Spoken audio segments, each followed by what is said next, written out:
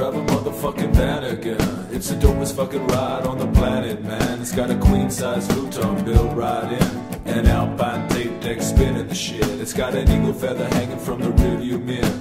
A mini fridge full of pepperoni and lucky beer. A box of granola and a block of cheese. A Mickey a ride and a quarter weed. You can drive it, you can drive it. You should try it, think you like it, you should drive it.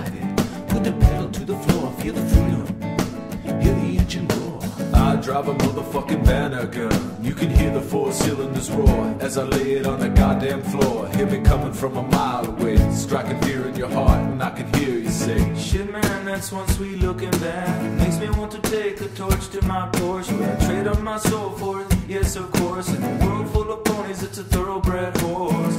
Shit, man, that's one sweet looking. Last time I high naked saying, Look, here I am. Like a kung fu master, destroying with steak on a solid gold plate, yeah. You can drive it, you can drive it. You should try it, think you like it, you should drive it. Put the pedal to the floor, feel the freedom. Hear the engine roar. You can drive it, you can drive it. You should try it, think you like it, you should drive it. Put the pedal to the floor, feel the freedom. Hear the engine roar. I drive a motherfucking Vanagon. I know that you're jealous, but don't hate me, man. Some